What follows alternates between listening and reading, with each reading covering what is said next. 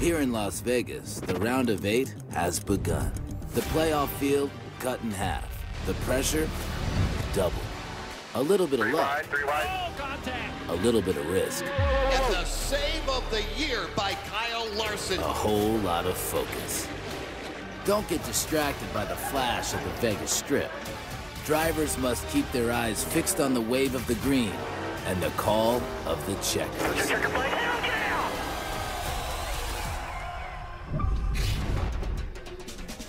Oh, there's a whole lot of fun to be had on the Las Vegas Strip. We're less than 20 miles from the Strip here at Las Vegas Motor Speedway. And yes, there's fun.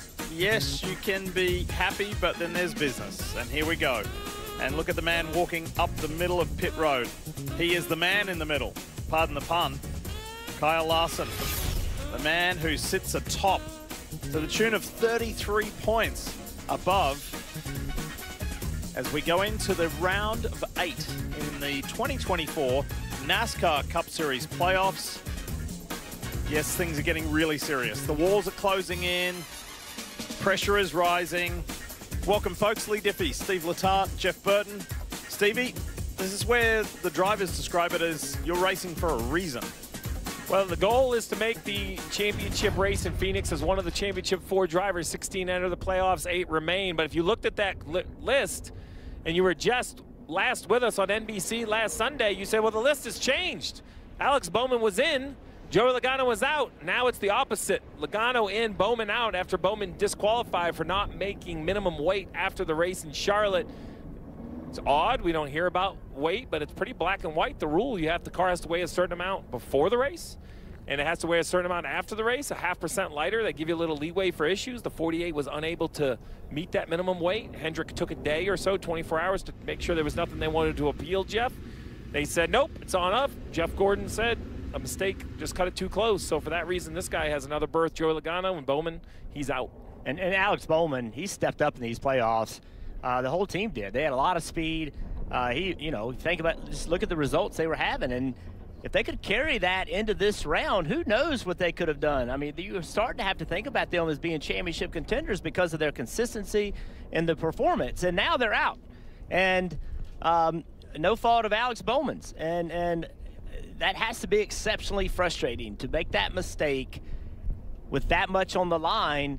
It's one of those moments in the sport you look at and you're like, that is a huge failure by a massive team, a well-run team, and it shows you uh, how close everyone's pushing it. But uh, I, I just that'd be hard to sleep at night after putting the effort that he put in and then be out for that reason. Well, it's particularly gut wrenching because before the playoffs, we've documented it so many times about the rumors that Alex's job, his drive was on the line. He answered those rumors by just driving brilliantly in every phase of these playoffs, and then to be found to be 17 pounds underweight uh, last weekend at the Roval. After the Roval, it was probably two, three hours after the race concluded that we all started to hear the rumblings and rumors, and then the news came out. So pretty, pretty big uh, blow, gut punch to the Ally 48 team at Hendrick Motorsports, but uh, to Steve's point, Jeff Gordon just said, hey, that's on us. We cut it too close. Uh, every single team up and down pit road in the NASCAR Cup Series um, kind of walks that tightrope uh, you know what the, the variances are, you know what the tolerances are, and you try and get as close to it as you can. And uh, unfortunately, we were over. So, in addition to Steve, Jeff, and myself, we've got Kimmy Coon here as well. Good afternoon, Kim. Good afternoon. It's a beautiful day here at Las Vegas Motor Speedway. As we dive into practice, what are teams looking for over these practice sessions? Well, when I talk with them, it seems like a long list. A car that drives well, especially over the bumps in one and two. A car that's got maneuverability, versatility, because there's so many lanes you can use here at Vegas. Then you want a short run car because restarts are so important, but you also want it to be good on the long run. And all the crew chiefs I talked to said you can't really compromise towards one single thing. A team that's got it figured out, Kyle Larson and the the five team. They've won the last two Vegas races. So, Steve and Jeff, as we look at that list, what are you prioritizing? And is there enough time in this short practice to figure all those things out?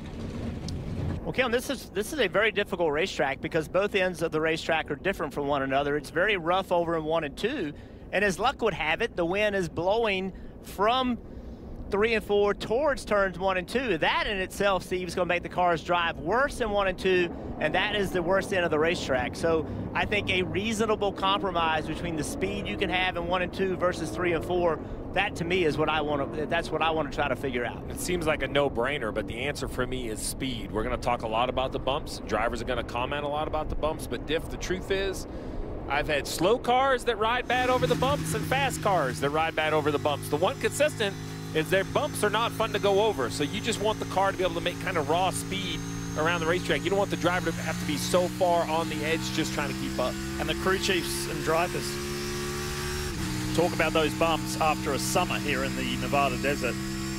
So we ease our way into practice, 20 minutes per group. Christopher Bell, here he is.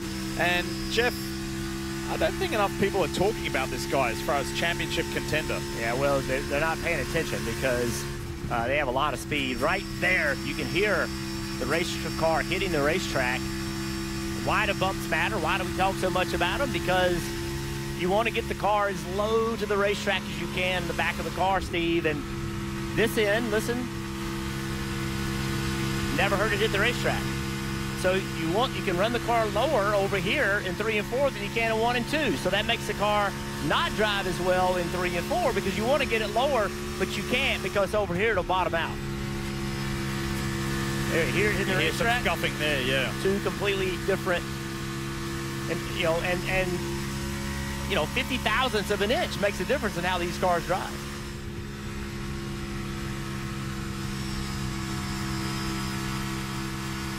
All right, Stevie, you're coming here, round of eight. You're back in your crew chief spot on the pit box. What do you tell your driver?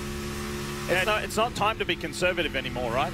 I think you have to feel that it's time to win a race. And when I look at this nine car, that's what comes to mind. I was actually talking with Alan this weekend, and, you know, of course he would like to win more races, but their consistency is just so impressive at this nine car. And, and I asked him, you know, is consistency going to be enough? And him and I kind of agreed, well, tell me what kind of round it's going to be. If a lot of guys wreck and there's a lot of issues, then consistency is enough. But Alan and I both agree that even if you aren't winning, you have to be a winning car, meaning you have to be battling top two or three each stage, each race. If this nine car can find just a little bit more pace, I think they're going to be one to definitely deal with. And you just caught a quick glimpse of the Alan that Steve was talking about, Alan Gustafson, the crew chief, 20 years a NASCAR Cup Series crew chief, which is quite the tenure. And this man here, who is the NASCAR Cup Series champion, Chase Elliott, just loves it. Jeff, what is it about when the pressure and the moment rises? The good ones are there, they're ready, they handle it. You're in that you're in that league. You know what it's like to perform at the top. You're a two-time winner here at Las Vegas Motor Speedway. So what is it about these guys? Well, it's interesting. Chase Elliott said he loved this time of year because it did matter. Every race mattered more. And so, as a competitor, you love the privilege of pressure. You love the fact that if you get it done, you're going to move on and have a chance to win the championship. And uh, you can't have that without the consequence of if you don't get it done, right? And so, uh, having the opportunity for you and your team to come and take on everybody with the common goal, Kim, that is uh, that is what being part of a team is all about. Absolutely, Jeff. You know, Lee mentioned Alan Gustafson time in the sport. He spent two decades at this level, and I asked him how that works in the team's favor, and he said because of the time he's been in the sport, he has seen the highest of highs and the lowest of lows, and how does that work in their favor? Well, he said it remains calm is what he's able to do. Just stay calm. He doesn't let emotion overtake him when they are in the lowest of lows. They can always pull themselves out. And so using that veteran experience in their favor when they're battling against these seven other teams in this round.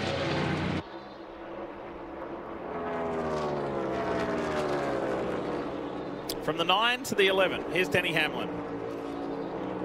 And Denny's sentiments echo that of Chase Elliott's. It's time for a win.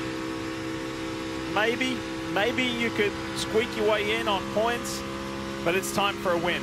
And this guy has not won since earlier in the year.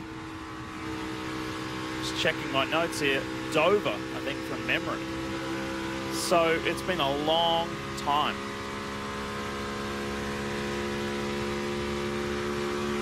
Can it be? Can it be this weekend here in Vegas? We know how strong he is at mile and a halfs.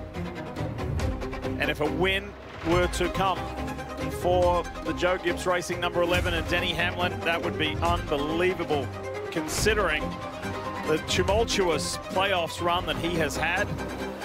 But that's what this time of the year is all about.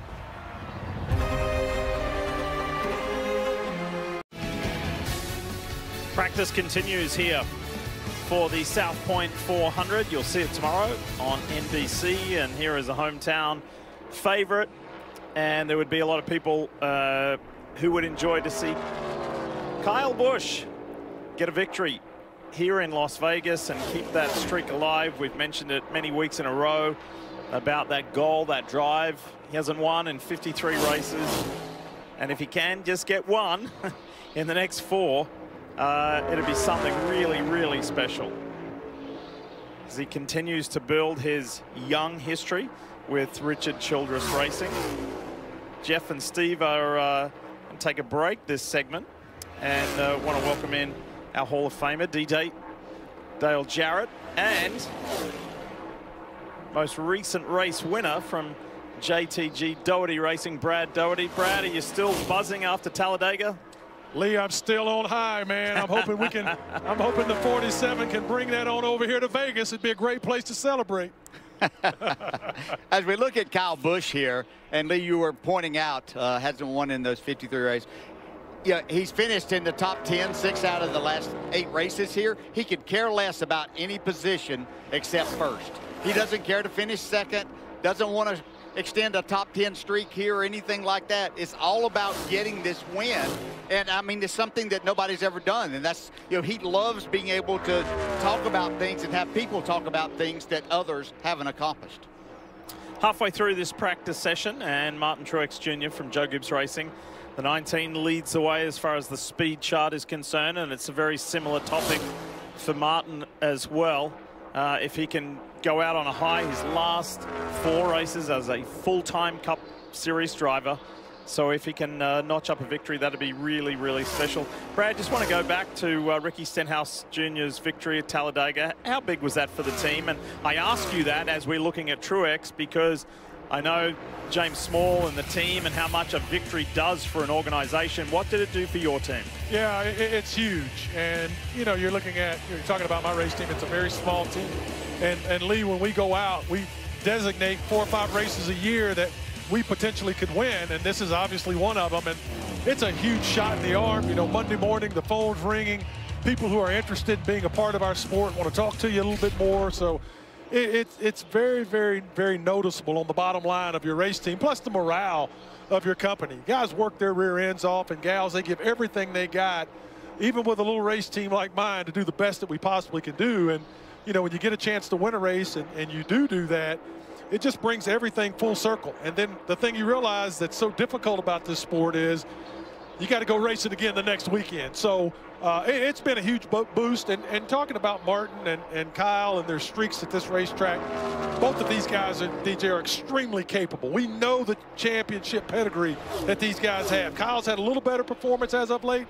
Martin's had some tough luck, but at any moment, these guys are very capable.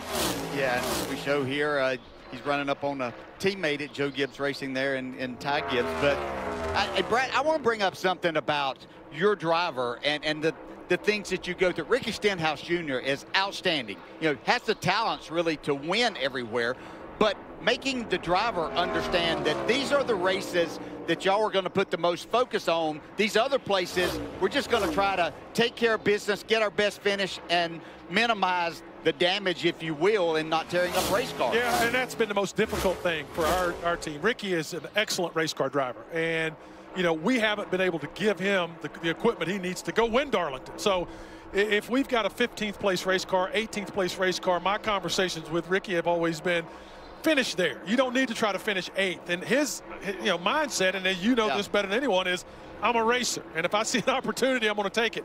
I think the thing that Ricky's done extremely well, especially this season, it's just the maturation of a, of a race car driver. He knows on the days when we, we've missed it, we can't overcome it in that seat. But on the days we go places like Nashville or Dover or Daytona or Talladega or Atlanta, we think when we roll out of Harrisburg over there that we can win that race. And we're going to give him everything he needs to go and be successful. And he does a great job. And I think it's just watching a guy. You don't have to be 22 years old to drive these race cars. You can be 35, you can be 36, and go do your job at a high level, just like Ricky Stenhouse is doing. Well, that's a great point, Brad, because speaking of youth, here we see the 21-year-old Carson Hocevar, who leads the Rookie of the Year standings. And he had a pretty wild run last weekend, DJ. Uh, he was he was involved uh, in more than one incident, but uh, hey, youthful exuberance, I guess we can put it down to. But this guy has shown on more than one occasion he's got the speed, and I think himself and the team, Spire Motorsports, they're on an up, upward trajectory, and I think uh, the future looks pretty bright. Yeah, I was going to ask you, Diff, that I'm sure he was somebody you'd heard the name, but since you've been on the telecast here for a number of weeks, this guy shows up in the top five, top 10 speed-wise everywhere, and he has something that that intangible of being able to go fast anywhere that you go. And that's not something you can teach, and I think he's the future star of this sport. Really um, kind of a, a refreshing personality, like he's a, he's a good young guy, and uh, he showed last week he doesn't mind mixing it up a little bit. Um, I'll tell um, you. I'll tell you, Diff, and there's a lot of guys, they won't tell you, but I've heard the rumors and, and squeaks. They're a little bit intimidated by this guy. Yeah. Uh, because he drives the wheels off that race car. And there's some guys out here that don't like racing with him. And I like that. I like that for Carson because that's just someone else he can take advantage of. There's a few cats that complain about how fast, and some think he's reckless. I just think he's fast, young, and, and has got the exuberance like he talked about, and he can take advantage of that. Well, I like to say, have a go. and he and he has a go. Yes, sir. That's for sure. South Point 400 is the race tomorrow, and the naming rights sponsor is the South Point Hotel and Casino right here on the strip. It's where the races stay. They're holding some of my money over there.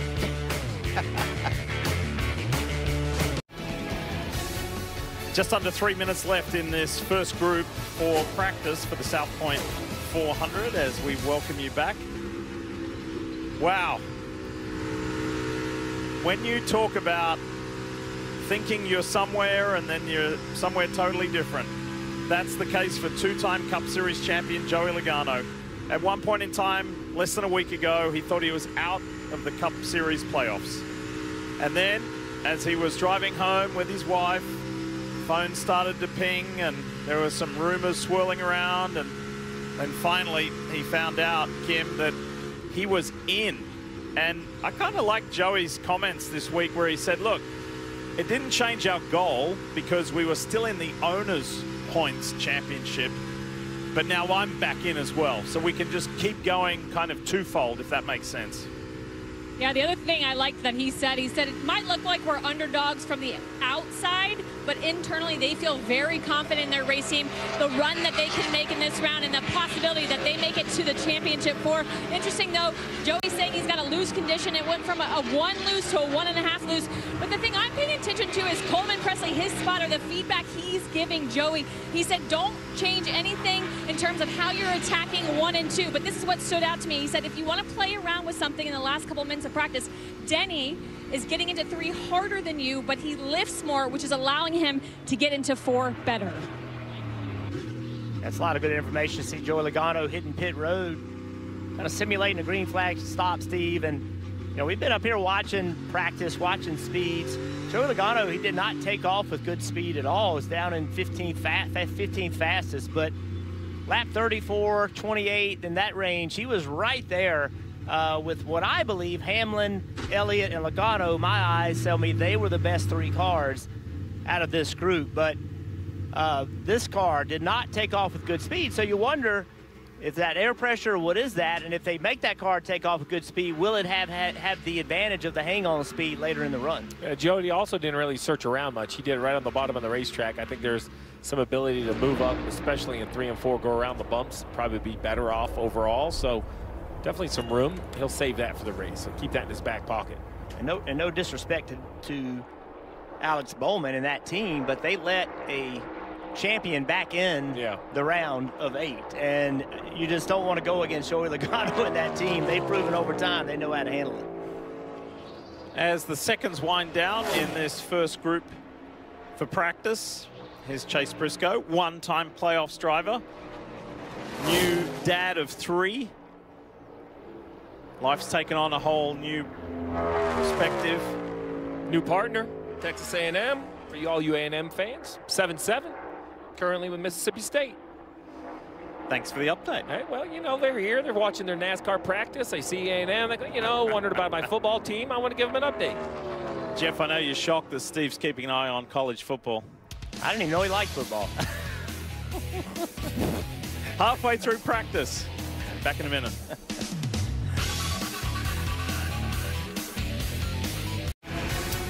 Mid 70s degree day here in the desert. Look at that blue sky. Beautiful. We're in practice mode before we switch it up to qualifying mode. Another 20 minutes of practice, very valuable practice. And this guy here is Jeff, the overwhelming favorite uh, for this race. He's won the last two, the spring race and the fall race. And this five uh, is in a different zip code to everybody else this year. He is, he's led 20% of the laps this season. But as far as laps completed, he's 31st in the order, which just underscores the laps that he completes are quality. Well, look, we talk about this. We, we hear conversations between he and his crew chief, uh, Cliff Daniels, you know, quite often on the radio about, hey, man, be calm, understand the situation. Uh, you know, a little bit of concern about the number of wrecks that they get in, but he's running up front when he has these wrecks. It's not like he's running 20th, and, you know, we how much do you slow him down? I mean, we talked about this several times. Crash and turn, turn two, Blaney oh around in the oh wall. Oh, boy. Reigning series champion. Round of eight playoffs driver. It looked like the left rear might have gone down. I blew a tire. Yeah, I, it, he, he, drove into the corner, and as, as soon as he got there, the back end came around on it rear tires were part of conversation. I don't know if you ran over something, but when we go to these intermediate tracks, we have seen rear tires can be abused. Let's take a look at what happens, Jeff. Yeah, watch the left rear right here. Yep, flat. Driver's side impact. You know, we talked about teammate Joey Logano slow in the first practice. Well, Blaney was last teammate Cindric 14th. Either one of those had great takeoff speeds, and you wonder if that's an air pressure thing. And with the rough bumps, car going through the bump, Steve, you can damage the sidewall of the tire. And you basically, hey, you see right there, dragging the diffuser. So the car is very, very low. So, so here's the thing. The car goes down, and it sits on shock stops. Mechanically, it can't travel any further. So then get to get to the diffuser lower from there, if you take air out of the tires, you know, the suspension doesn't have to compress, just as the tire squishes like a balloon, you know, the car gets lower to the racetrack, creates way more downforce. We saw this a lot more often in years past. That, you know, Goodyear continues to try to build a more durable tire. The teams still try to take advantage of what they think needs to be the best. And listen, we're purely speculating. What we know for sure is the left rear tire seemed to go down on corner entry. Look, he could have run something over on the backstretch. It's a windy day. Things blow around the racetrack. Maybe the tire was low on air. Maybe that's why he was bottoming out the lap before. Maybe it was too low on air. I know that Jonathan Hassler right here, the crew chief, will now have to prepare a backup car for Ryan Blaney. They won't get to qualify, and it's going to not the way you want to start the round of eight. Let's have a listen to some recent radio from the 12. I had no warning. My head hurts. I had no warning, man. Sorry.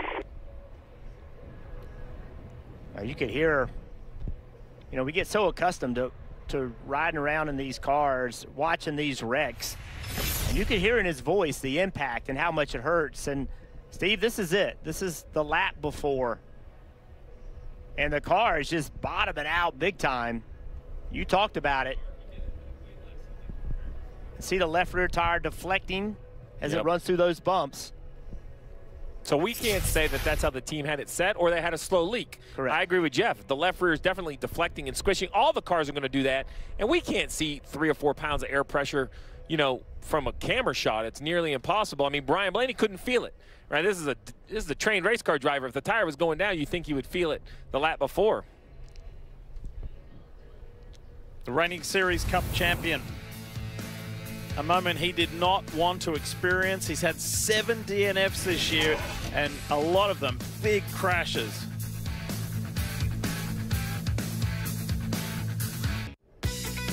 Quick reminder that you can play NASCAR Fantasy Live for the playoffs. You can create an entry by picking five drivers, plus a garage driver to compete. Fantasy Live lets you keep tabs of your lineup, make in-race adjustments to maximize your score. NASCAR.com slash fantasy. As we welcome you back to the desert, we're here in Nevada, and this is a wounded Menards, Team Penske Ford. And here's a comparison. So this is the five of Kyle Larson going over the bump. You're going to see one little puff of smoke there, another one. You know, kind of what we'd expect. This is what the majority of the cars look like. So just in comparison, let's compare it to Blaney. We know these cars are going to bottom out because the air pressure and the bumps, but just watch how much more violent and how much more smoke right there. And that's way more smoke off the back. What you're seeing is the vertical carbon fiber strakes on the diffuser dragging the racetrack. And then the next lap through, Blaney goes down in the corner, left rear goes flat, around he goes, goes into the wall. So once again, you know, we don't have the exact, listen to this hit. Once again, you know, the cars are all stopped with the rear suspension at the same amount of travel. The only way to really get lower from there is air pressure. So I don't know if the 12 is just lower in, you know, by settings or had a leak. The team will definitely look and see if there's a hole in the tire, if it's able to be, you know, viewed after it actually went flat and kind of came off the rim.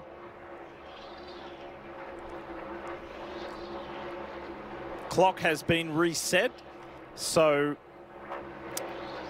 the rest of this second group can get their uh, very valuable laps in in the lead up to qualifying for the South Point 400. Lee Diffey with you here at Las Vegas Motor Speedway. Our Hall of Famer DJ, Dale Jarrett, Brad Daugherty. What did you make of that, DJ? Yeah, it, very, very unfortunate. You know, when I was watching Blaney, I watched him go out, and I, he caught my eye as he went into turn three in that first lap, and he was really high up on the racetrack where we didn't really see anybody else run until after they had quite a few laps on from the first group. And so I wasn't sure exactly what they had, but then as he went down into turn one and you saw that tire leg go, and you know, and, and let's make, I hear people talk about it, and people ask me a lot of times about, oh, the soft walls that these guys have now are nothing like the car. Let, let's not make the mistake of calling this a soft wall. It's a safer barrier. Yes, it does, does absorb a little more of the energy than what Jeff Burton and I went through with hitting concrete walls when we unfortunately had some problems years ago. But that is still a huge impact, and you could hear that from Ryan Blaney's voice when he radioed back to his crew. So I just hope that he's going to be okay. They can get another car ready. Yeah, it's going to be a tough uh, turnaround for them and, and, you know, start from the rear and, and do everything they need to do. But uh, just so unfortunate. But just, you know, you see the violent, how violent these rides are that these drivers are going through at a place that has some bumps.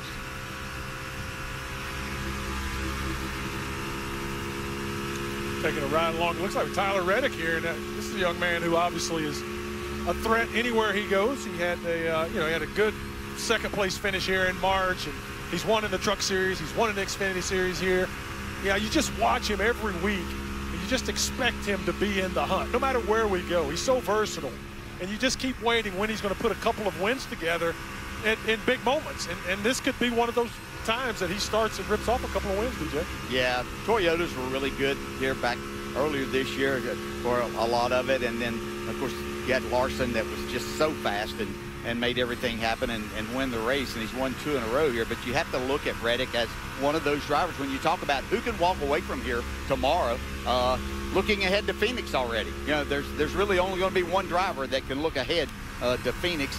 But, you know, is there someone like, as we continue to ride along here, but I'll bring up a name, Ross Chastain. You know, this is the tire and, and so many things that are like Kansas, and we saw Ross Chastain go there. He and Kyle Busch both have opportunities to win that race, and then Ross did do the job there. So is, is he going to make life miserable uh, for all eight drivers uh, not having that golden ticket to Phoenix? Yeah, and that's what he usually does every weekend is he makes it miserable for everyone.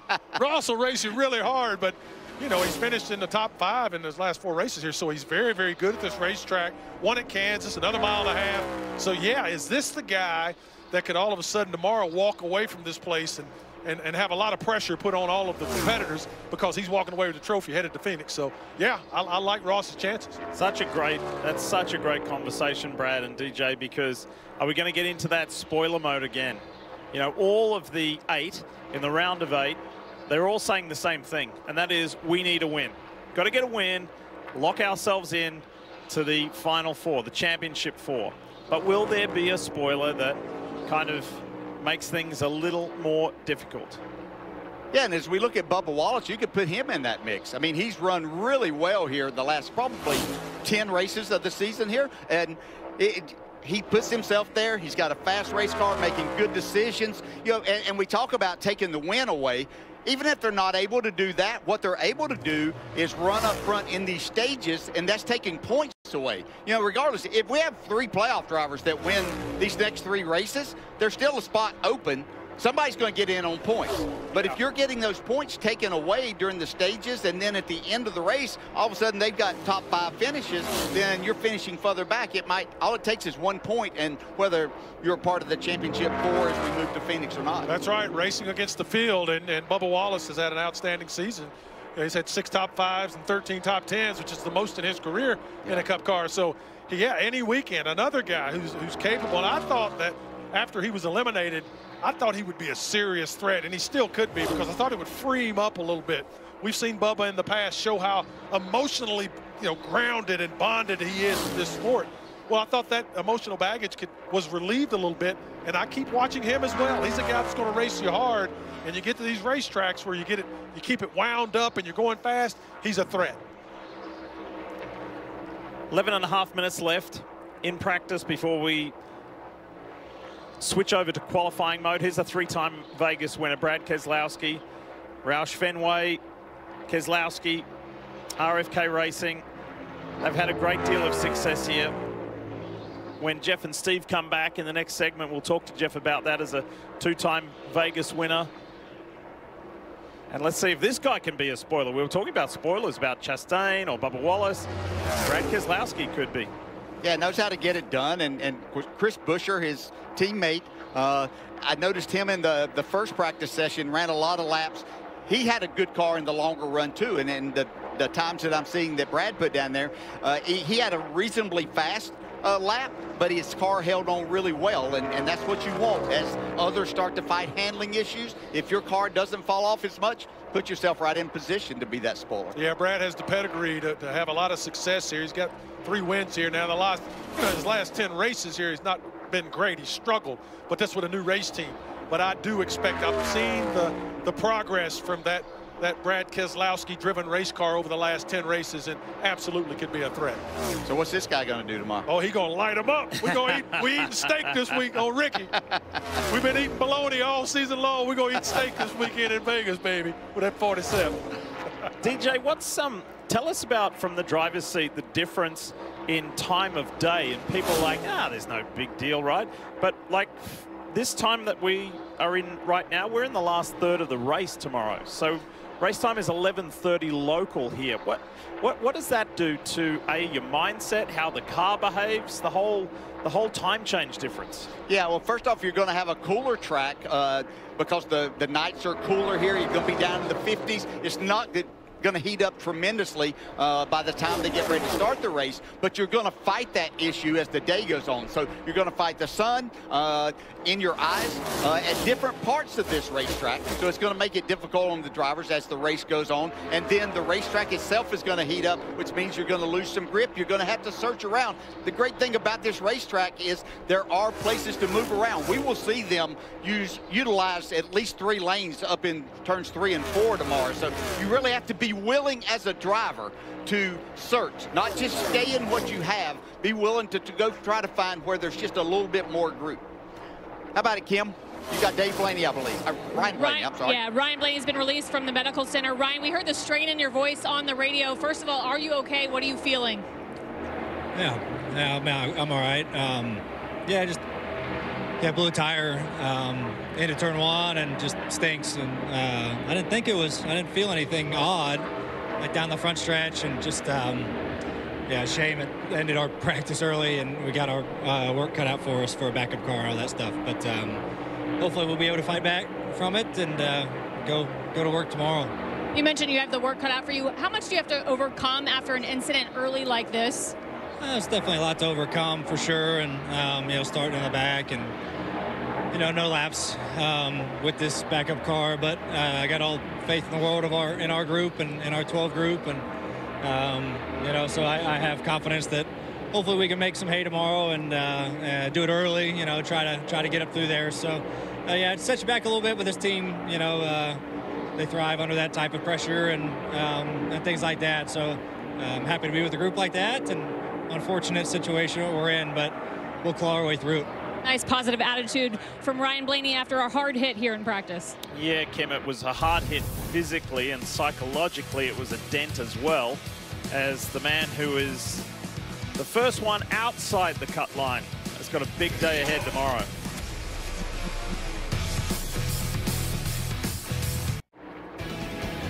Five minutes left in practice and you're looking at one of the championship favourites, William Byron in the 24 for Hendrick Motorsports has scored more points than any other driver on mile and a half tracks this year. That bodes well for this weekend. We head to Miami, then the short track in Martinsville, and then we finish the season off in the championship four at Phoenix. How will this year play out for this guy who has just quietly gone about his business and had just an outstanding round of 12? second, third, and third. Jeff, that's incredible consistency. And people should take notice of William Byron. Well, there's no question. And this is a championship contending team for sure. And they get hot. They get, you know, the next three weeks obviously are very important for everybody, Kim. But uh, this team, if you give the, if you send them to Phoenix, you have to consider them one of those guys that can get it done. Yeah, now he's going into this year. If he makes the championship four with experience, having been there last year, this team, you guys mentioned an outstanding round of 12 with three podium finishes. They're hoping for the same kind of results in this round. Remember, William has won here. He's won at Homestead Miami Speedway. He's won twice at Martinsville. Right now, though, William's saying he's too tight and one and two. So, Jeff, my question to you, we know you could run multiple lanes here. If you're crew chief Rudy Fugle, are you going to go to work on the adjustments on that car, trying to find a better balance, or are you going to rely on your driver to maybe search for a line that works better for the setup they currently have? Well, I don't, Kim, I don't think you're ever going to get the car to drive the same in one and two as it does in three and four. And uh, the driver has to make a determination with the crew on which corner is most important. And also, what's the weather tomorrow? What's the wind going to be tomorrow? All of those things you have to understand because you're not going to be perfect and you're not going to make it do everything you want to do. So, Steve, what is the compromise? And and that's a, that's been an age-old question, and we don't know what the wind's going to do tomorrow. We don't know what traffic, how it's going to impact uh, the cars. So that's where we have a lot of engineering support, but some of it just boils down to, to good old-fashioned experience. Well, and William Byron understands the experience of his 13 wins. Five of them have come at these final four tracks. So they're tracks that he has feelings at that's kind of like a Jimmie Johnson type stat. You know, when he had those runs, his numbers at the last four or five tracks we saw over the course of the season were always so impressive. A little bit different color scheme here on that Dollar Tree Family Dollar Toyota for Jimmy. A lot of moves in Legacy over the last few weeks. Brian Campe, Director of Competitions, a crew chief changing. So what do you make of that? I make it as an organization that tries to grow. You know, we talk all the time about improving and some are public-facing maneuvers, some are made in private, and and some are the tough decisions about change of personnel, right? They switched to Toyota this year, and I think now that they have a year of Toyota, they understand just how much information they have and perhaps how well they do or don't use that information and apply it on the racetrack. So Brian Campe has a long history in the sport, and I've known him for years. He has a bright engineering mind, but a leadership type mind as well, and I think he can help lead this organization to use all of the information that someone like Toyota provides. Trackhouse Racing's Daniel Suarez, the Tootsie's Chevrolet. What a year it's been for this guy. Talk about a fighter. That's when I when I look at this car and I think about Daniel and the way that he's raced in these playoffs, just fight. Like he never gives up. Know, one conversation that happens a lot when a team is eliminated from the playoffs, it feels like a letdown because it is. The goal is to move forward. But at some point, I think you also have to step back in retrospect and kind of take the season as a whole. And for this team to win a race, to make the playoffs, to advance out of the first round of the playoffs, I think that's the direction we're going. We have seen his teammate in the playoffs before, but not this year. This year, this was the one and only Trackhouse entry. So Suarez and this 99 group has to feel good about that. And just 40 seconds left. So it's been a, uh, a Group 2 practice session that was punctuated by a crash by Ryan Blaney, but some good laps turned in the lead up to qualifying. Austin Dillon currently ninth fastest in this group, 17th fastest overall. Been watching him his lap time that's his 18th lap, 30.67. I think that's pretty decent. I saw Austin at the hotel. Big weekend for Austin. PBR's in town out here in Las Vegas as well, and he owns one of the teams that are competing for the title in that. So it's a busy weekend. PGA, PBR, NASCAR, a lot going on in Las Vegas. He's into it too. We talked to him about it. it. He loves it extra lap. I would bet he's going to try to have a hard pit road entry, runs this extra lap.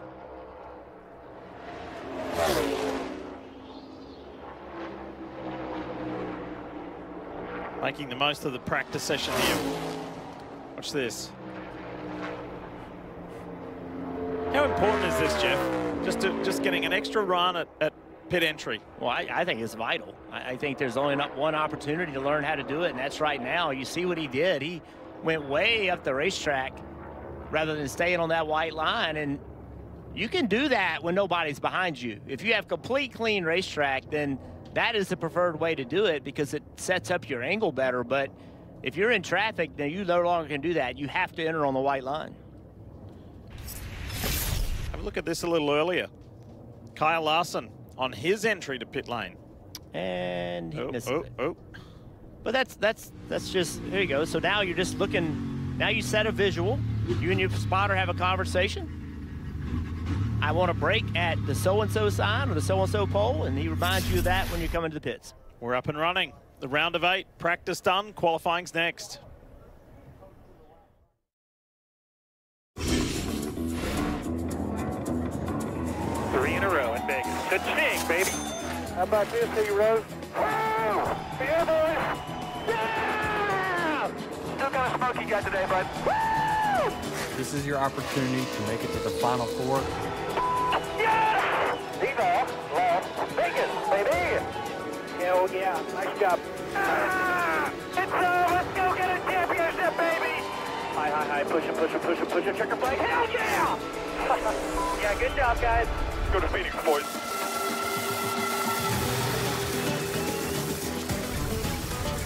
And a reminder of what is coming up. Here is the broadcast menu for you, NASCAR Countdown Live.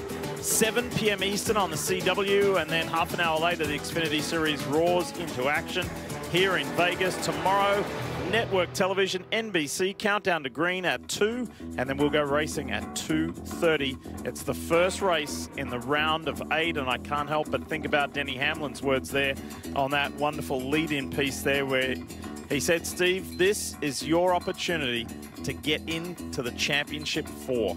Not only your first opportunity, but if you are fortunate enough to win this race, then while you will still compete at Miami and Martinsville, you just can focus all on Phoenix, right? It really does give these teams an advantage having that amount of time to kind of look ahead. And here are the combined practice speeds. Reddick tops the chart. So playoff driver the fastest. Kyle Larson, the only other playoff driver inside the top 10. Kim.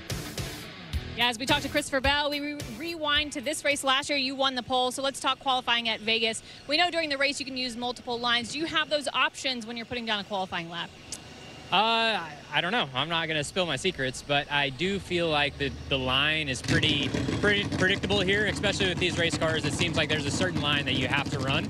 Um, the last couple times, everyone's migrated into it, so I wouldn't expect it to be very different this time. You're on a streak of four top 10 finishes in the last four races. What kind of momentum and energy is behind this team as you start the round of eight? Uh, yeah, I mean, we feel really good. Um, and, and on top of that, I love the racetracks that we have coming up. Las Vegas is one of my favorites and uh, a place that I think that we can run really strong at. So qualifying at the intermediates, especially the high grip stuff like here, Kansas, Charlotte, this is probably my favorite thing to do. So I'm excited about this qualifying session. His favorite thing to do and something he's actually very good at as well. Christopher Bell has won, Stevie, in the round of eight the last two years in a row, which obviously then leads to the fact that he's been in the championship for the last two years in a row. Yeah, and a quick championship update, right? One of our playoff drivers, the 12 of Blaney, pretty big accident. See here the work on the 12 car. Well, Goodyear has reached out to me with a puncture on that left rear tire. So Jeff, they were able to look at the tire, took it apart, dismounted it, and a clear puncture. So in Goodyear's opinion, something was run over on the racetrack. Air comes out of the left rear, causing this accident. So, you know, that we we had pointed out that the car looked low, was definitely hitting the racetrack, and Goodyear followed up. We appreciate their time and effort to get the fans the up-to-date information. And I think if you're the team, that's actually a better result, right? Absolutely. To know you had a puncture Absolutely. because now, over if you don't have that overnight, you're like, oh no, what do we do to air pressures? Joe, John Hunter Nemechek, a 29.62. It's a pretty good pace from what we saw in practice. All right, let's go. Here is the 15 of Cody Ware for Rick Ware Racing.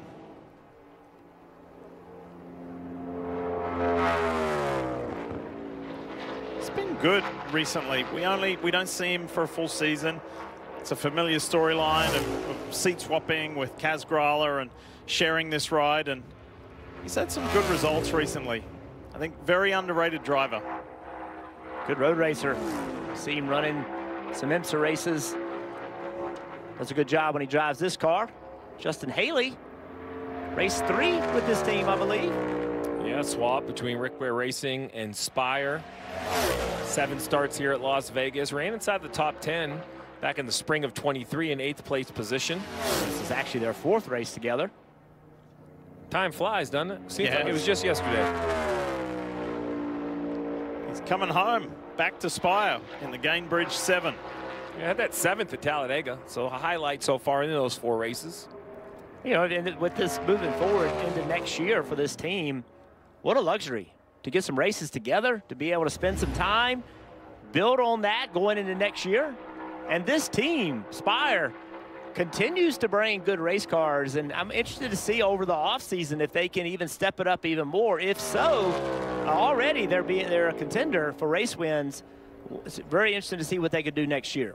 And bottom left, that's the 12 car backup. Team Penske backup. So they'll unload and wrap this car with Blaney's colors on racetrack, SVG in the 16. A bit of a struggle in practice. Pretty far off on speed. I really think this is going to be the battle next year. I didn't mean to interrupt you, Dick, for SVG, right? Is just he's learned a lot in Saturday, but Sunday is the, the deep end of the swimming pool. I mean, these guys are so, so good. I think these cars are harder to drive than the Xfinity Series cars at these high-speed ovals for sure. the feel is so different. And the problem that drivers talk about all the time is they don't know where the limit is. Even after driving them for three years or so, they can come around on you so quickly, it's hard to find that. So as Van Gisbergen finishes his lap, Chase Briscoe begins. Steve, can I bring you back to that uh, bottom box we had where Team Penske are going into get ready mode for that backup car for Ryan Blaney? What's that like as a crew chief? What, what do you tell the team? Well, it's shifted over you- years. So years ago, each team had their own. So you just kind of unloaded it. It was all ready to go. Now every organization is kind of required to only have a minimum. It's, it's different for how many cars you have in the field. But I think at this point, you kind of get everybody together. The biggest fear as a crew chief is everybody wants to help that too many people are touching it. At some point, you just have to say, okay, listen, let's have our core group get with your car chief, set a specific plan on what needs to be done, whether that's the interiors, we see Ryan Preece take the green flag, maybe the driver's seat isn't correct for Blaney, maybe the setup's not correct, maybe what you can figure out what engine needs to go in it. Get that to-do list and then almost take a breath, as crazy as it sounds. You have so much ahead of you, but really come up with a plan.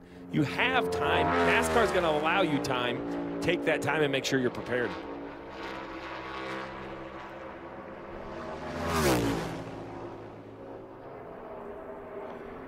Coming to the end of the lap for Ryan Preece. Jumps his way up to fourth as we check in with Kim. Yeah, when we closed out our broadcast on Sunday, Joey Logano was out of the playoff picture. This weekend, you're now back in it. What's the roller coaster of emotion been like for you and the team this week? Um, you know, it's uh, probably the roller coaster happened more on Sunday evening uh, after the race than, than anything else. But um, you know, our job was to, to go here and win, no matter what what the circumstances were. You know, we were in on the owners' points anyways at the end of the Roval, and um, now we're in on the drivers, so that's great. But um, you know, the job is still the same here. We come out to Vegas to put our Pennzoil Mustang in victory lane. Joey Logano, a three-time winner here at Las Vegas Motor Speedway. You know, it always amazes me you know, the development of the garage area. These are the same rules that they ran in the spring, yet that lap for Justin Haley, that 29.37, that was good enough to make the second round. Wow. Spring. And I will see, but I don't know if it's going to be good enough today. Looking at practice speeds, it might be. So far, he's good over Briscoe by a couple tenths. Maybe Haley's just put a lap down that we didn't expect, or at least I didn't expect out of the seven car in qualifying after watching practice. Promising start here from Ty Gibbs. This would be a good test. And this is kind of tracking right on top of the seven. Essentially, you see the drivers running the bottom of three and four, the one, the, the middle of one and two. This is a good lap right here. Boom, P1. Lost a little time late in the lap, but still good enough. 29.30. But only 700s better than Haley, which tells me that Justin did a really nice job in that seven car. Speaking of Spire, team car here, 71. Zane Smith. Yeah, he was fourth fastest in practice in this group.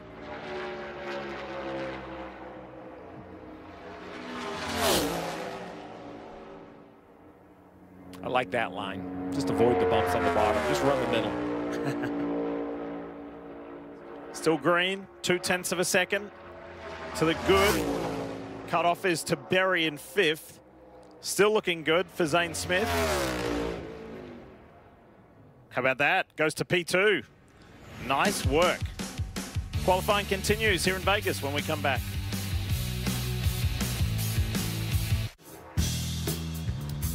The one and only Las Vegas Strip. Uh, it's good to be back. And NASCAR is back for the second time this year.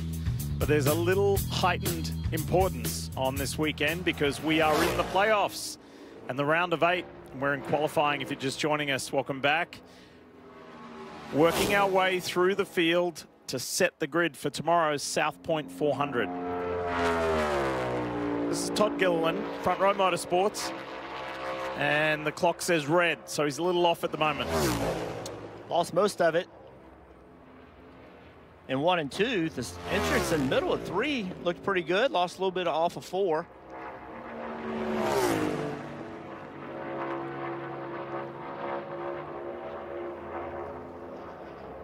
So Todd finishes in seventh as we transition to the 19 of Martin Truex Jr. Had a good practice run, Steve. Looked very good in practice. The Toyotas, we expect to be good here at Las Vegas, high-speed oval. And Truex, a really nice one and two carries speed all the way down the backstretch.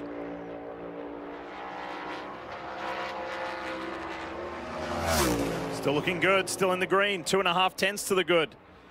Watch the 19 jump up, finishes his lap, and Martin Truex Jr. joins his JGR teammate in the top two. And see how stacked it is in the 30s, right? 35, 36, 37, second, third, and fourth. Kyle Busch going to run the apron coming to the green.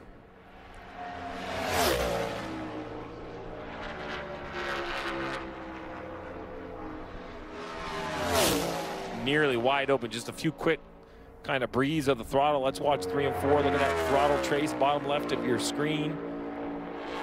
Out to half throttle, just a couple seconds to get it to come down to the bottom of the racetrack, and really nice three and four. Still looking good. And it's going to be a top five for Kyle Busch. A lot of good race cars left to go here. All the playoff drivers in this group will go out last.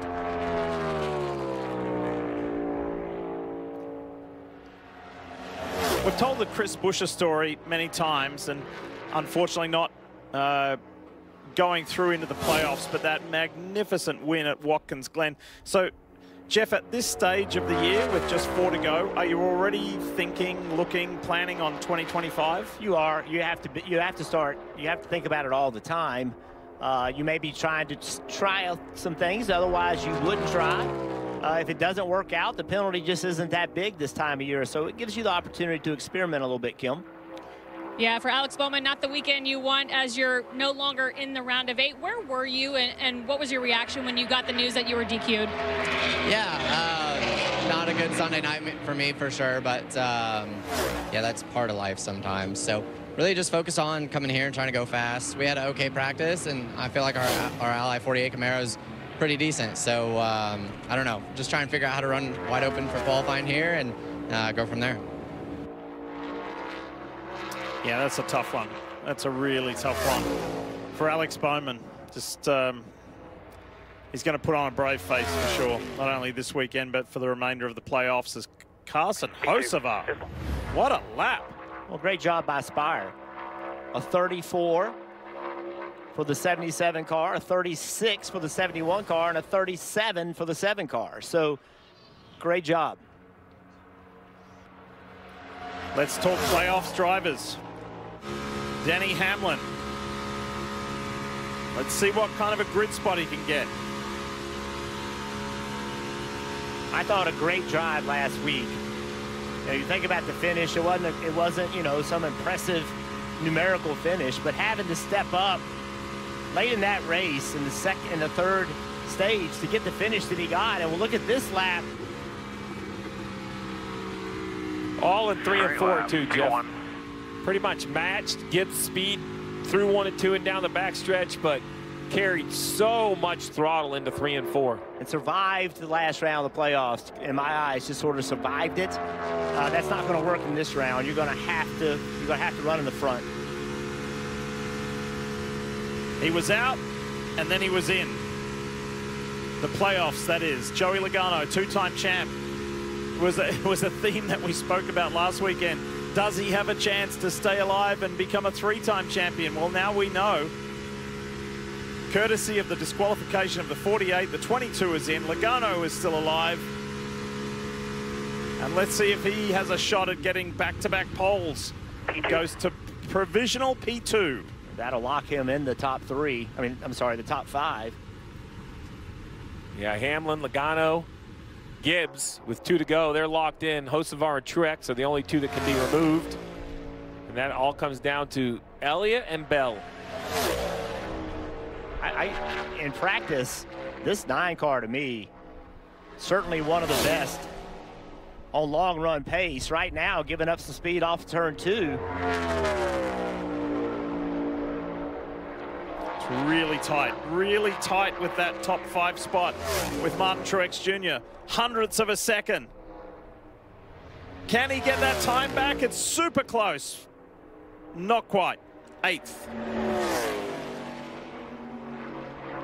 So that right now has him will have him back in, you know, mid-pack.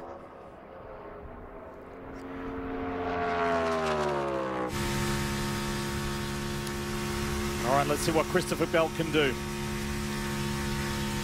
Good start. Stays green.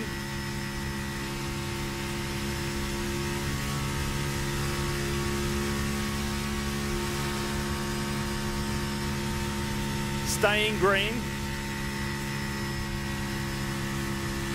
He's going to push his way into this top five by a mile. There'll be three playoff drivers in this top five from this first group. Well done, Christopher Bell, 29-153. The 20 straight to the top.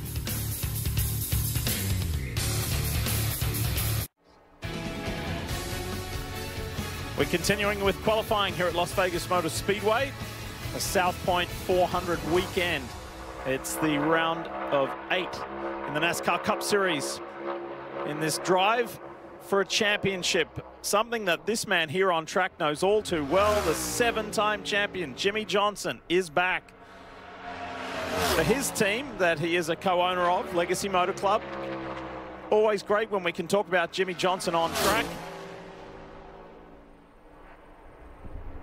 And Jeffy's, pardon the pun, but he's just driving his own life, right? He's dabbling in some work with us on NBC. Uh, does a little bit of driving, the team ownership. Like he's got, he's got a lot of things going on post full-time career. He does, and I talked to him a lot at Talladega about the team ownership, and uh, we, we talked about it early, earlier. A lot of changes going on over there, and he's involved in all those. He's excited about the future of this team and feels like they can get the right people in place and compete for championships long term.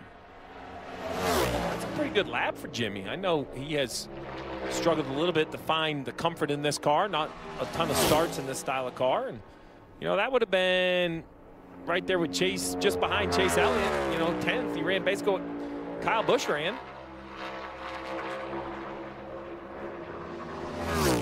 Corey LaJoie is a little behind on this lap, three and a half tenths off at the moment.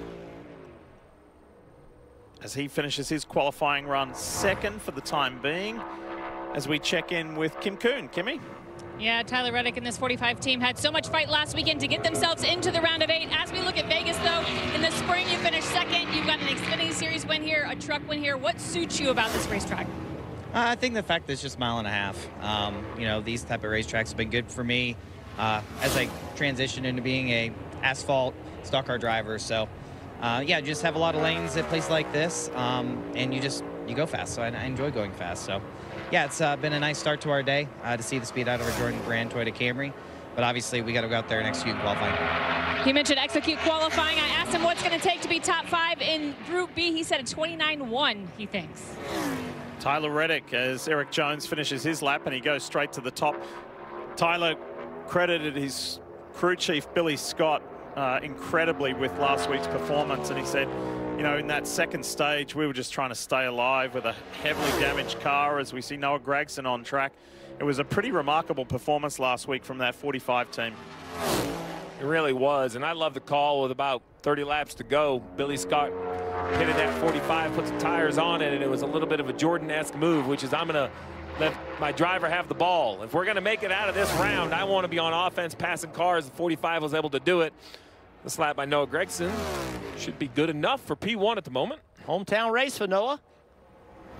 A lot of friends and family out here. Good job, Whit. Good job, yeah, absolutely. 29-381, here is Alex Bowman. So now I think for this team, uh, imagine the roller coaster that this team has been through. They stepped up in these playoffs, brought their best, then they are, they're out due to the weight infraction, and now they got to find a way, right? These four races matter. Where, how high can we finish in points? What can we accomplish as a team? We can't give up on each other. Good lap right here so far. And this is when it gets hard, Diff. When things don't go the way you want them to, how are you going to respond to that? Straight, this was a good lap. Straight to the top. 29, 168. That is almost matching Christopher Bell's top time from the first group. So even though he's been bounced out of the playoffs, Alex Bowman is still very much on it.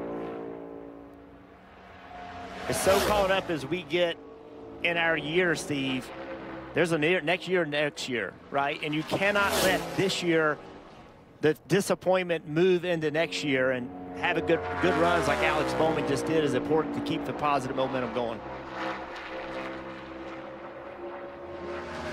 South Point 400, South Point car on track. Daniel Hemric. He's a few tenths of a second off at the moment. He's going to slide into fifth place. Kim?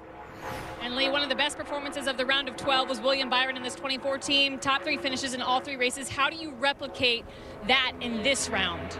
Well, it's just totally different racetrack. So today we're a little bit tighter than we want to be in practice, but um, you know, hopefully our balance here in qualifying's you know, as expected and going to need a lot of throttle. So uh, just just you know want to commit to that and, and understand what the grip level is coming to green and, and just see how it goes. See how he goes in just a moment. Austin Dillon on track, the Boot Barn Chevy for RCR. Looking good at this point.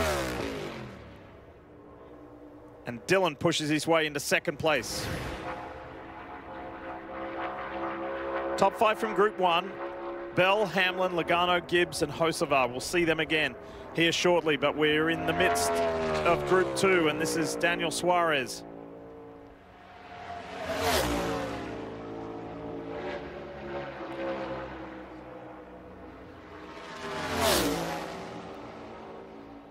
Right on that line, nothing in it. Talking about hundredths of a second. That much throttle.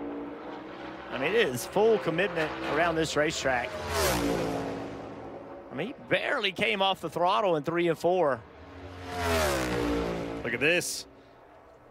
To provisional fourth for the Trackhouse Racer. That's a P4 for right now. Jeff, I think that's what makes this qualifying so difficult. We watch Chastain here and just see how much throttle you use around here. It is, is I mean, a small percentage of the lap you're not wide open. He hasn't lifted yet. Let's just don't. Yeah, according to telemetry, he hasn't lifted yet at all. I would look at the lap time, would agree. And the problem with that, Steve, is you drive in the corner as a driver and you are committed to that much throttle. If things don't go well, it's wrecking. There is period. It's because you are committed to full throttle and the car doesn't talk to you quick enough to be able to react to it. And uh, that 15 is, there's a lot of drivers looking at that telemetry right now saying, okay, he, he did it. He flat-footed it all the way around here. Can I do that? Chastain to the top. There's a couple of Hall of Famers, a couple of former teammates, and old friends having a good old catch-up chat. Jeff Gordon, Jimmie Johnson. Just a few wins. Just a few. Yeah.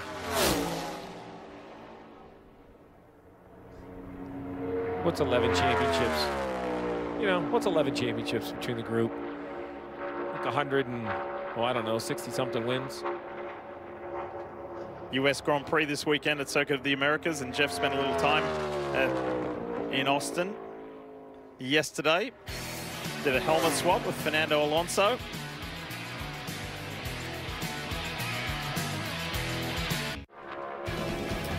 If you have never been, yes, it's everything you expect it to be. Las Vegas. There's a little quick snapshot of downtown and on the strip as we bring you back to the racetrack. Lee Diffey, Steve Letarte, Jeff Burton, and this is Harrison Burton in the Dex Imaging. Wood Brothers Ford. We're in qualifying mode at the moment. The top five has been set from Group 1. We're establishing the top five from Group 2. Yeah, decent speed through one and two, but it looked like it just got tight to me. Middle of three and four, you saw the throttle go down to 50% a couple times. Probably thought he was going to overrun the front tires.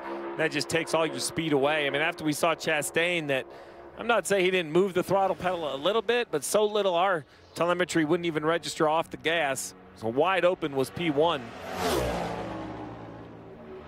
Michael McDowell on track now. Front Row Motorsports loves Ford. Keselowski, Wallace, Cindric, Blaney, Reddick, Byron, and Larson to come. Ryan Blaney with that big practice crash. Tough day for the reigning series champion. Looking good for Michael McDowell at the moment.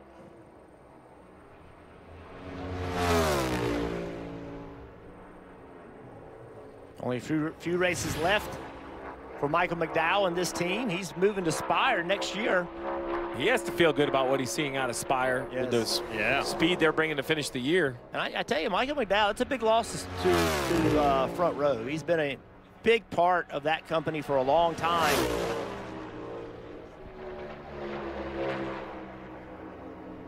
Oh, Brad saw the back of his car moving around a lot, but it didn't hurt his speed.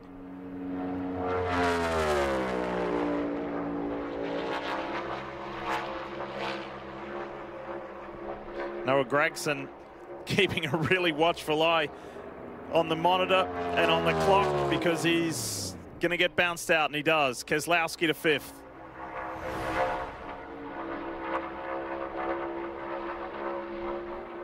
Just a handful of drivers to come, and here's Bubba Wallace.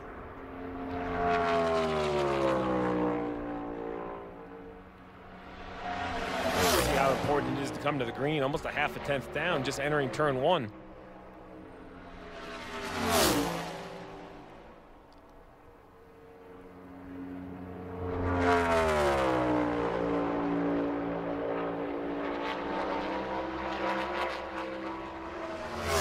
right direction off of four.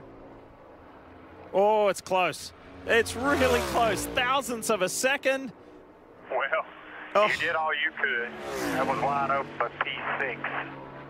well, don't want to hear about it Don't want to hear about it.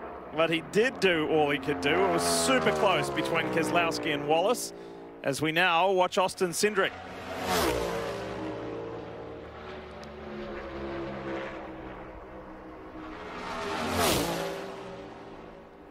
Using all the racetrack.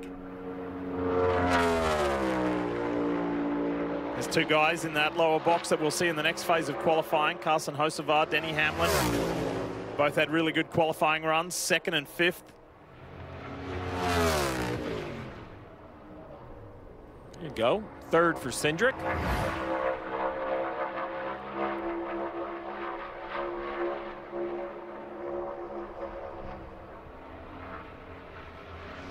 All right. Playoff drivers, we won't see Blaney. Remember that accident in practice. They're working on a backup car for Ryan Blaney. So Reddick, Byron, Larson, the three playoff drivers in this round. Reddick trending the right direction. With two to go behind him, he wants to be at least third. If he ends up third, he knows he will advance to the next round of qualifying. Well, this one's going to be fast enough. Well, he's just going to go all the way to the top, so there'd be no question. Boom. Uh, P1. P1 with authority. Fastest lap of the day.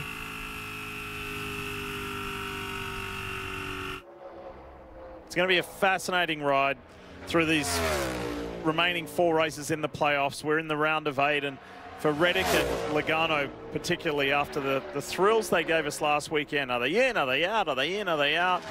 There was no doubt about this guy. The round of 12 that he had, Jeff, second, third, and third for William Byron. How about this pace? This is the William Byron from the beginning of the year. Remember, he won three races right away in the first few of the year. It's been a quiet summer. He's back. He's turning it up when it counts. The Daytona 500 winner goes to P2 provisionally.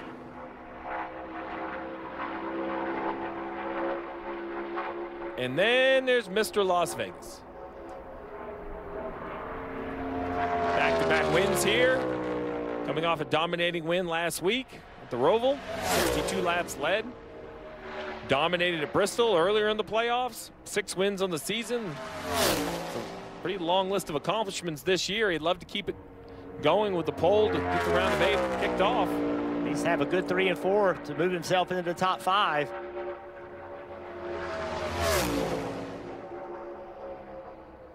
Still in the green. Comes to the line. And car five, position five. Just bumps Austin Cindric out. Reddick said it should take a 29-10. You had to be a 29-1. Tough, tough day for the reigning champ, Ryan Blaney. For the other seven drivers in the round of eight. How is this South Point 400 going to play out? Well, we will set the first five rows when we come back.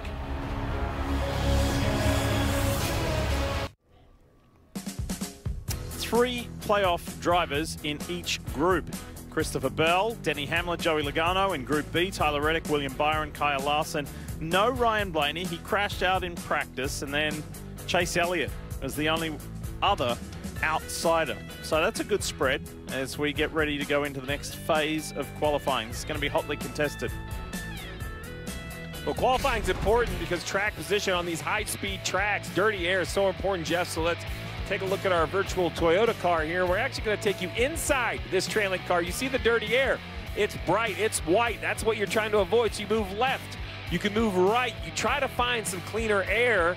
We're trying to show the fan at home kind of what the drivers are imagining, right? They're seeing this dirty air in their head. They know where there's no downforce for the trailing car. They know offset to the left or offset to the right, there's more downforce available. And that's why they love this racetrack because this track is wide enough and has enough grooves with enough grip that you don't have to run right behind the car in front of you. You can jump out, you can go to the outside, you can go to the inside. We'll see it a lot in one and two. Takes a little longer in three and four to get that upper groove worked in, but That's why we. That's why the drivers like this racetrack, and we've seen so many competitive races here. Basically, in line down the straight diff, and then somewhere else, wherever that guy in front of you goes, try to find a few feet either higher or lower in the corners. So it's quite appropriate. We look at Joey Logano, we show you on the left the playoff standings, and I kind of I don't know. This this takes me back to before the playoffs began. Remember, this guy won the first race in the playoffs. Uh, he had this very calm. Joey had this very calm demeanor about him. It's like, yep, this is what we do. This time of the year, this is what we do. I'm ready for this. This is why we uh, we race all year. And even after last weekend's, you know, um, pretty crazy Sunday night with Alex Bowman being DQ'd, he was racing, racing like never before to try and stay in the driver playoffs, uh, even though they're in on team owners points. Um, it, it, it, just still didn't phase him. He was like, yep, yep, let's let's keep doing what we do. One driver not in the playoffs, but is always fascinating to watch, is Ross Chastain. Yeah, Lee, he was one of the fastest in Group B, makes it to the next round of qualifying. So how can you make your lap better the second time around? Well, keep my hands from shaking too much, Kim. First of all, uh, our Worldwide Express Chevy, um, it's supercharged on the hood and, and it and with with WEX, and that lap was supercharged to commit that level. I hadn't seen anybody when I went out um, before I got in the car hold it wide open, and I did, and then I saw guys do it after me. So uh, we set a trend there, and they went, went, even faster. So I've got to tidy up a few things, but um, yeah, I can just maybe take a shorter distance to go faster because I was already wide open. So the only thing I asked Phil Surgen and the mics was just please let it do the same thing. And if I go lower, don't let it hit the ground. And um, yeah, that was a, a, big commitment lap, and um, proud of it, and try to go re replicate it. The last time we were at a mile and a half was Kansas. You played spoiler amongst the playoff drivers. To play spoiler this weekend, what are you going to have to do? hold it wide open in qualifying. Step one. Um, but really, that doesn't have much bearing on tomorrow, other than pit selection, making sure we have an opening, and hopefully be down at the, the turn one end. And then um, we need our car to hang on better. Um, our, our Wex Racing Chevy just didn't didn't hold on on the long run quite as well. It's it's kind of our our pattern. Um, that's why Kansas worked out so well with that 25 or so lap run. Uh, so we feel like we built some things in. We're trying. We're, we're trying not to. We're trying to evolve and um, we'll see. It, it, didn't feel great at the end of the run in practice, but um, we, we have overnight to get through qualifying and then work on that tonight, uh, make our final adjustments in the morning. Let's see that hand one more time. Is it steady now? I'm going to hold them together. All right, that's Ross Chastain. We'll see what he has in round two of qualifying. Yeah, 185 miles an hour around Las Vegas Motor Speedway. And by the way, Goodyear's brought the same tires as Kansas. Kansas worked out pretty, pretty well for Ross, as Kim mentioned.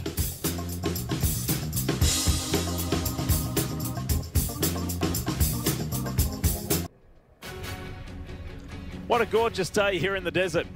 We're in qualifying mode to set the first five rows for the South Point 400. That's tomorrow, and you'll see it at 2.30 Eastern on NBC. Prior to that, countdown to green, and today at 7 Eastern, NASCAR Countdown Live on the CW, and then Xfinity Series Playoffs Racing gets going.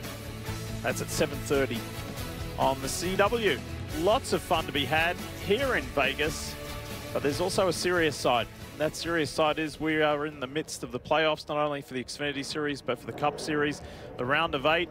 Here are the fastest 10 cars from regular qualifying, and Carson Hocevar for Spire Motorsports is going to kick us off. And you heard from Ross Chastain that he was basically wide open. So now it's about probably running high through three and four to bring that momentum to the line. Then pick a lane through one and two as high as you need to run around the bumps, not any higher. The other thing he said that he didn't see anyone else go wide open until he did it. So if he's right about that, then all these guys are getting ready to go, or several of them, they didn't see him run wide open until after their run. So now what do you do? Do you believe you can run a wide open? Are you willing to take the chance? 29-34 was Carson Hocevar's lap when he ran in Group A. Jeff, how big a deal is it for a rookie driver? You know, we're talking specifically qualifying to sit on the front row of a cup race. Oh, it's huge. That was a big deal for this young man, wasn't it? Yeah, it is. He had an interesting week Really good last lap week. right there, man. Really good. A lot of contact with some drivers and at the Roval. It's a pickup, about a tenth of a second. You heard his crew chief before he ever took the start finish line, before he took the checker, good lap, good lap. Yeah. Watching data, knowing it was a good lap. Luke Lambert. is the Monster Energy Toyota Camry for Joe Gibbs Racing. Ty Gibbs, seven hundredths of a second, eight hundredths of a second. It's pretty close with Hocevar. He's getting that time back too. Closer, getting closer. Not going to be much in it. I was going to say, if they go in reverse order, right? So Hocevar was fifth fastest of his group. He's already outrun Gibbs, so an improvement with his second run. On track now. The Pennzoil Ford for Team Penske, Joey Logano.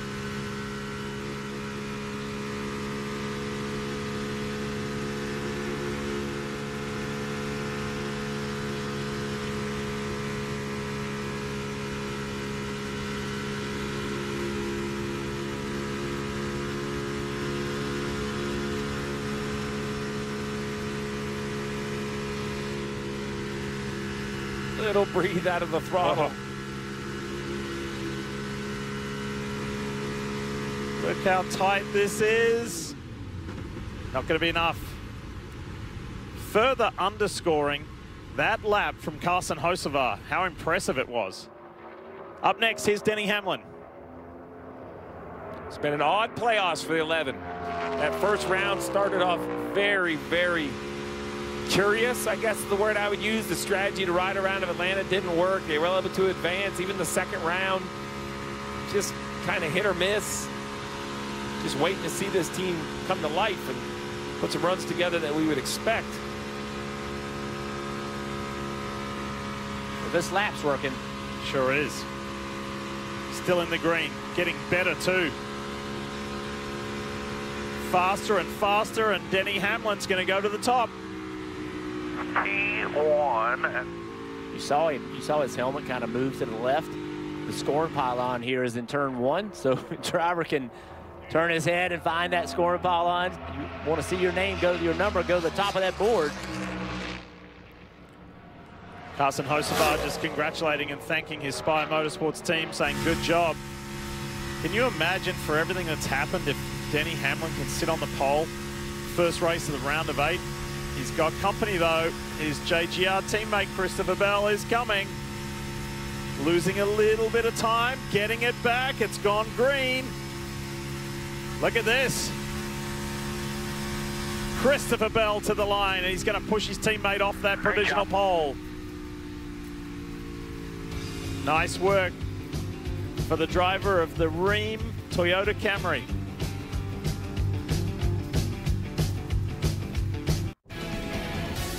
Qualifying continues here in Vegas. Next car to roll is the man who is on top. Sixth race victory last weekend. Kyle Larson, here he comes. And just part of his big picture story, Jeff, he's going for three wins in succession here in Vegas. It's highly likely.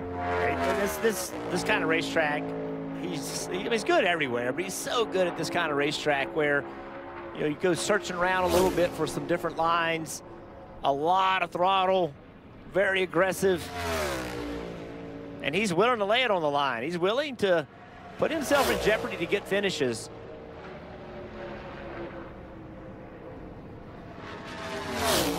I think the strength of the five car race trim for me was his entrance into turn three. It felt like he could have a really big arc, get to the white line really, really, really late in the corner. I mean, look at that.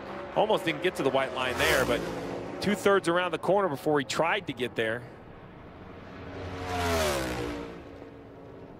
Close. Super close.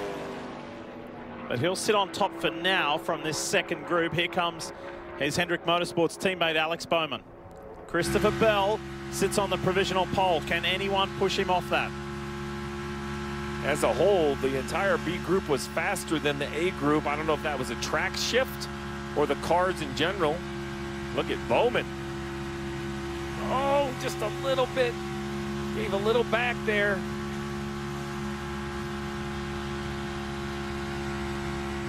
Talk about a guy driving to prove a point. The disqualification last weekend, bounced out of the playoffs. Not quite going to do it here. Does dislodge his teammate to provisionally sit on the front row. Good lap. Really good lap. When you run that much throttle and you don't sit on the pole, you're like, mm, I don't know what to tell you. Yeah. Christopher Bell watches on.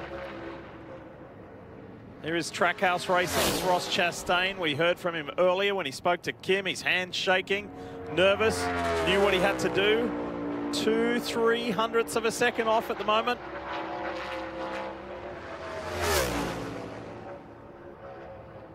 And that time is just edging away from Ross Chastain. Third row for the time being. Two drivers to come. William Byron is next up. It's a Joe Gibbs Racing, Hendrick Motorsports provisional front row.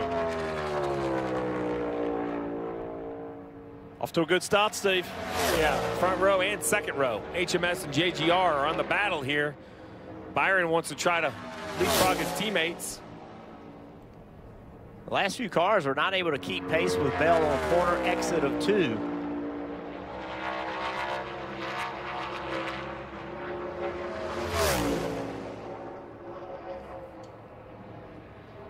And that time just eking away a little bit for William Byron. He's down on row four. The biggest challenge is right here. What a race, what a story, what drama last weekend at Charlotte Motor Speedway's Roval. Tyler Reddick just showed unbelievable grit and determination and resilience. Even showed us a skateboard trick, getting the wheels up in the air and still hung on. And now he is pressing Christopher Bell. It's green, it's staying green. He's losing a little bit of time. Talking thousandths of a second. This is so close. That's crazy. Oh my goodness. Ah, me too, man. Christopher Bell, the smile gets even bigger. And Kim's there with the pole man. Yeah, and he held his cards close to the vest when we talked to him earlier about what his qualifying plan was. Whatever secrets you had, they worked. Your third Las Vegas pole. We know you have a first pole qualifying car. What do you have for the race tomorrow? I, I feel really good. I feel really comfortable. In practice, the I don't think the pace showed what we had, but inside the car, I felt super, super comfortable. So I know that uh, we're gonna have a shot at it tomorrow. How much of a statement is this? I don't know. I mean, I've been in this position many of times, and obviously, I've never won from the pole yet. So, um, still waiting to do that, but maybe tomorrow's the day. Maybe tomorrow is the day. That's Christopher Bell. He will lead the field to green in tomorrow's Cup Series race. Do you remember Kansas? He won the pole there, and he was leading in stage one. Unforced error, hit the wall. Leading in stage two, unforced error, hit the wall. And so maybe tomorrow is is recovery, retribution. Maybe, just maybe, two playoff drivers fill the front row. Yeah, four inside that top eight, six inside the top 10. Only Chase Elliott and Ryan Blaney were unable to. Chase Elliott qualified in row nine. Jeff Blaney all the way at the back of the backup car. Yeah, Chase Elliott a long way to go, but a good car in race trim. You see a lot of drivers here that their year's coming to an end. They're not worried about a championship. They're racing for race wins. See, Ryan Blaney, he's going to start dead last in that backup that you just talked about, Steve. They had, their teammates had good pace in race trim, though, so they have something to go off of. So that's it. Practice and qualifying done. That man there, Christopher Bell of Joe Gibbs Racing, on the pole position and trying to make the championship four for the third consecutive year. Wouldn't that be something? A win and you're in. Jeff Gordon, Jimmie Johnson, they know all about what it takes to win a championship. We'll see who has the magic tomorrow. Coming up next here on USA, it is the Fast and the Furious. And there was some furious feelings inside the 12 camp after that. Unfortunately for Ryan Blaney, crashing out in practice, did not get a chance to qualify. We'll see him tomorrow as his playoffs quest and championship quest continues. That man there will lead them to green.